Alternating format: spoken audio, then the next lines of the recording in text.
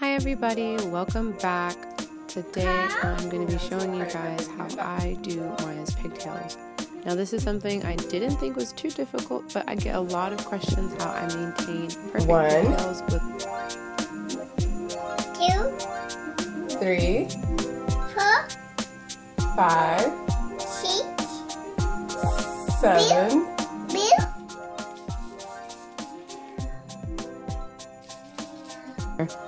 I have put about a tablespoon of the leave-in conditioner of the Kinky Curly Knot Today. I love this stuff. And so it sort of foamed up a bit when I sprayed it. It's not a big deal. It's gonna penetrate into her hair shaft and really moisturize her hair. So I'm gonna make sure that it's completely distributed. I had a little too much product and so I just rubbed it on the front portion of her hair as well. I'm going to use her neck as a guide to have a perfect center part. I really like straight parts, and so, especially when it's just one, I try to make sure it's nice and neat. The key to having a really smooth uh, ponytail, whether it's pigtails or ponytail, is to make sure that the hair is completely combed out. There are no knots or bumps in the hair at all. If you notice, I wrap the hair around and hold it really tight so that Maya does not feel any tugging at all on her scalp.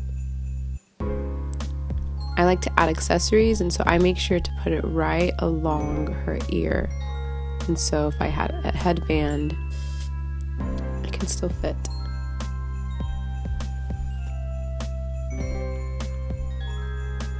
Alright, I'm going to move on to the other side now. I'm going to repeat the same steps that I did to the previous side.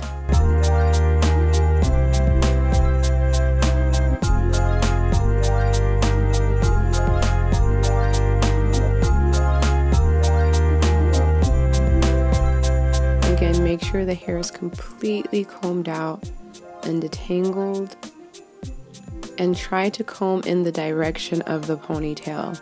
So if you're doing a, a, pigtail, make sure you comb the center, you know, going towards the direction that you're going to actually tie the ponytail.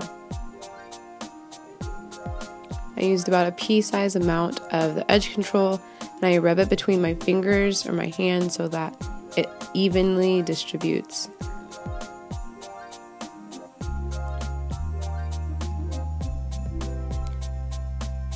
Make sure the ponytail is tight enough so that the hair is still flat and it's not, you know, poofy, but not so tight to where you can actually see the tension along the hairline.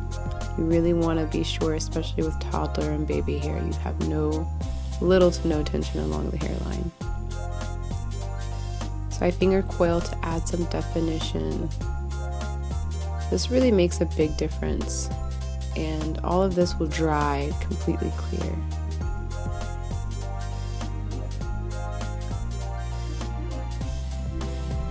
So this is optional, you don't have to add any edge control to the edges. I usually don't do this on a daily basis because, I mean, you know, she's a baby or a toddler, I guess. It's not really a big deal, she doesn't have to look perfect. But it's great for photos, it's great, you know, if you want to send your kid to school looking really polished. This isn't going to last all day long. I will tell you this has this has more of a flexible hold.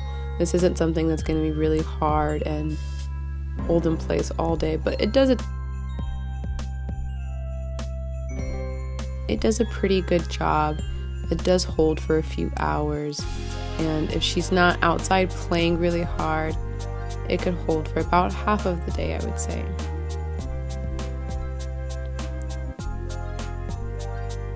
Alright, so I'm to move on to the other side. We are basically done here. You could stop here if you'd like.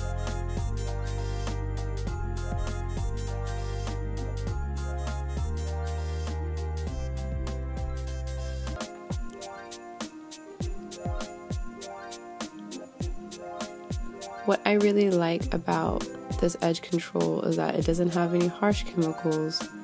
And so I think that's probably one of the reasons why it doesn't hold super, super strong.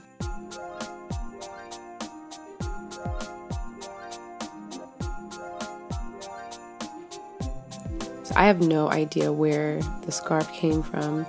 I am always getting questions about where I got the scarf from. I have no idea. I've asked my mom. She doesn't remember where she got the scarf.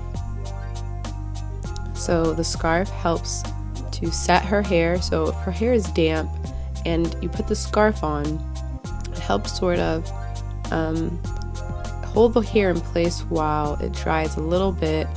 And so the hair holds a lot better. We played a little bit and now we're taking the scarf off.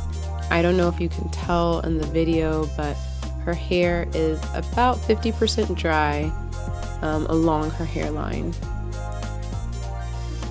And we can have some fun and add some accessories.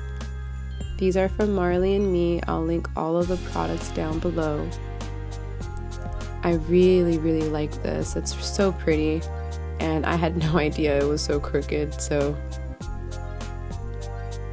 isn't she adorable? This would be really cute for Halloween or just, you know, going to the park or having fun on a daily basis. Thank you so much for watching. Thank you so much for all of the kind words and support. I really appreciate you Maya, all. what does a cow say? Here are some outtakes. What does a cat say? Thank you again, everybody. Meow. What does a sheep say?